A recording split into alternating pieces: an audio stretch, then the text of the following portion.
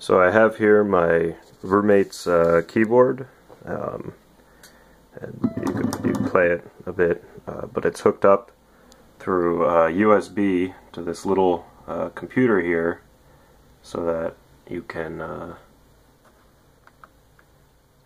set it somehow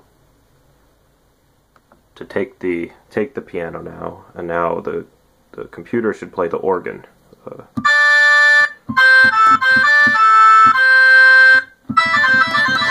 The piano in the background uh, there. So that's the that's the simplest case. Uh, and then if we uh, leave here, oh, I, I, suppose we could also um, we could make it so that instead of uh, the input being the organ, we can set the if we set a uh, let's have this just make a a note every few times here. That's really annoying, but we can set it to output uh, to the piano. Oh, uh oh. Make it make it quiet on here. There, and now we can hear it uh, coming here. Although it just sounds like a siren if we take off some of these notes. Now it only plays the, the one every loop. Alright, so that's that's fun. But uh, let's see. What I can also do here is if uh, we gotta start up a uh, DOS DOSBox so we can play uh, some DOS games. And uh, if we start with, uh, let's just go to uh, Doom here. When we start, it should, oh, this is going to be loud. So the sound comes through the piano. And then uh, the sound effects should come through the, the laptop still. Yeah, so that sounds a lot worse on the little laptop speakers.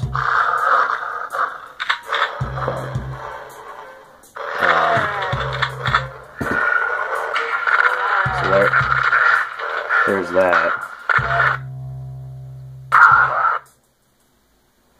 Uh, and then it should also do uh, of the Triad, I think works. Um,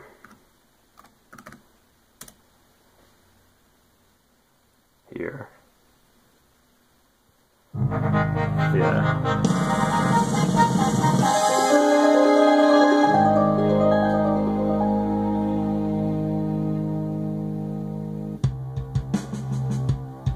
So it sounds a lot better on the actual piano. And you can still play, if you want to play along, still play along uh, with it there.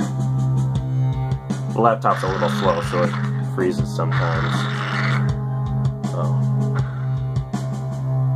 How do I quit?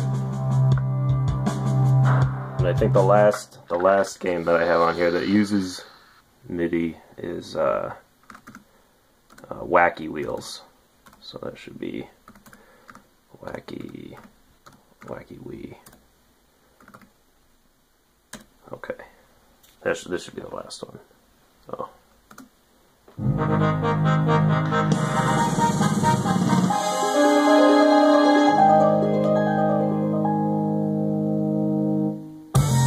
Oh gosh. This one runs really slowly. But it sounds a lot nicer if you want to play your games over a keyboard, I guess. But that's that's it.